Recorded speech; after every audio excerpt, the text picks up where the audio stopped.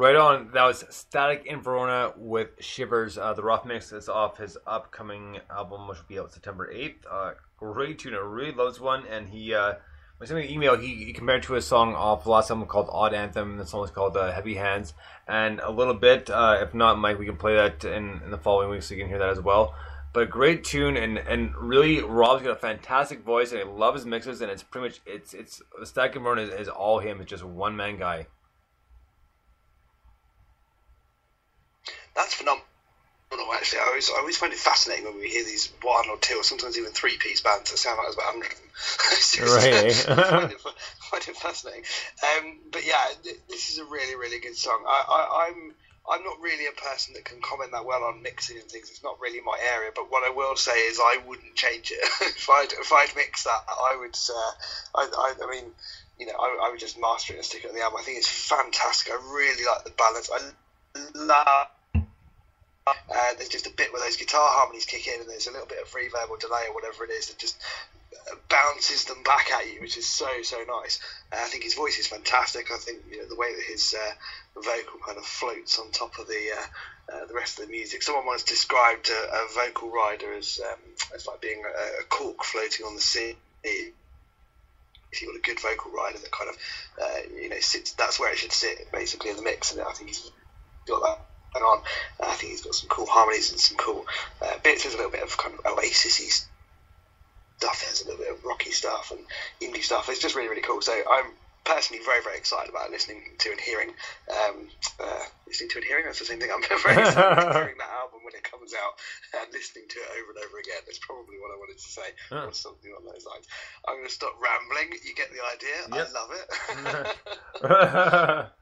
Right on. The plot any minute. But it's cool. It's very good. He's a good guy, and it's a quality tune. Uh, right on. Well, next up we have one of our favorite electro pop tunes, and uh, Gina's already took a part a great deal in this uh, this part of the show already, and it's been a lot of fun. So this is uh, they did a poll for this. Uh, they were gonna uh, do one of three covers, and uh, this one won the polls, and it's a, a band that we know very well, a band called Portishead, and they do a cover of the song called Glory Box. This is Hands of Blue. Dig this.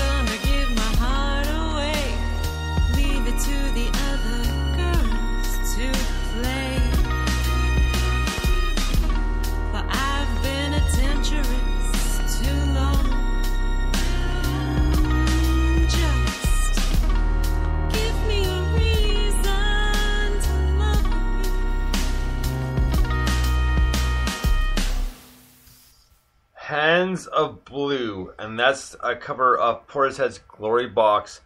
And uh, I'm not sure the tweet made it on, on online, but I'll tweet again if it didn't.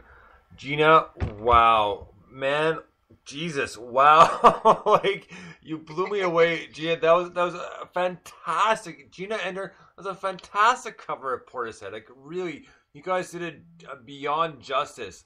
Like Gina and Ender, man, I, I wow, I, I'm, I'm seriously blown away. Like that was great. That was fantastic. And and Gina, man, you, you guys to do like like a mix of kind of like we'll call it like a lounge blues, uh, maybe jazz or act, like at least one or two songs because. Gina, you did that more than justice. Like that was incredible. Like, and I'm completely serious. Like, I, I really, really love that cover. That was an amazing cover. That was awesome. Like, I'm so so pumped after that one. Like, really cool. I, I completely agree with you. That's actually not a lot of people would know this because I've never said it in public probably before, but that's my favourite Portishead song. If you were going to say, Mike, what's your favourite Portishead song? Uh, I would instantly, without blinking, say Glory Box. Um, and these guys have done an absolutely blinding version of that. I know, right? That really, like, you know, to the point where I was singing along, and bearing in mind it's like five to two in the morning, and I can't sing. That's not going to impress the neighbours. Um, it's just like, how can you not? Um, I, I was really impressed. I thought, as a cover, I thought it really, really did it justice. I thought. Um, uh, just the, the vocal delivery was excellent. The way that that uh, those chords were strummed out so perfect. I think it's called raking, is it? Maybe me sort of going the strings like that. Um, that, that was beautiful. The tone on the solo was excellent. I love that kind of. Um, uh, sort of broken up, uh, trippy kind of solo that um, know, I couldn't tell you if it was note for note or whatever, but it's got that you know same vibe that Portishead do, and actually it's a really good Portishead live album with that. I'm sure it's that song that's got um, got the great version of the solo on it as well. But yeah, it, it was. I just thought it was excellent. I really liked the, the kind of um, the decks and the way that it kind of um, brought that scratching in and everything else, and then but also it added that kind of industrial layer and really made it kind of hands of bluesy and that. Uh, bluesy, hands of bluey. Um, but, uh, yeah, it was, it, was, it was quality, and uh, I, I'm with you. Those guys should should go and uh, go and sit in a club with some sort of resonating guitar and smoke a load of cigarettes and play some dirty blues and make everyone feel amazing because that was quality. Um, I, yeah, I, after that, I, I really want to hear hear Gina sing "Give Me Fever." Like I really want to hear. I think she'd do an amazing job of it. Oh, isn't it? That, wouldn't that be? Yeah, it suit her voice I, absolutely I, I, perfect. I can Totally. I can totally hear that and see that. I think it'll be an amazing cover. So Gina, there, there's your Nender's next uh, ne- next cover. Do do a cover, "Give Me Fever," please, because I think you'd be amazing at it. Yeah, and then we, we, we just keep finding. You could just become our own personal covers band. We'll keep finding tracks Yeah. like that we want to hear. okay, this is a band that can do some, do some pretty good covers. What about? we'll think. We'll think of another one. um, no, I agree. I, I'd love to hear that. Um, but yeah, I thought, I, I thought that was awesome. I'm I'm not normally so um, uh, gushy, I suppose, about a cover because I kind of think you know, covers a cover. You, know, you didn't write the song almost. Is kind of my uh, attitude. But sometimes they're really good, and this was just a really good example of what you can do with a cover. It's like um, whoever that dance group is that did the, the cover of Bryan Adams' Heaven. It's actually like one of the best covers ever because they totally take you know that song just tear it apart make it something their own uh, in that genre, which is which is what it's all about. And this kind of does that, but because they've got that influence already, it really pays tribute really nicely to the Oh, version. Yeah, For really sure. impressed. And it is literally my favourite Portishead song. So, um, you know, you, you've had to have done a good job to get me to say all of that. so nice one, guys. Right on. So next up is uh, uh, a remix. He himself he kind of fixed a few a few things on this song. This is a, a guy again. It's it's all him, and the the name is Still. He's out of Ottawa, Canada. Dig this. This is Still with Say. Dig this.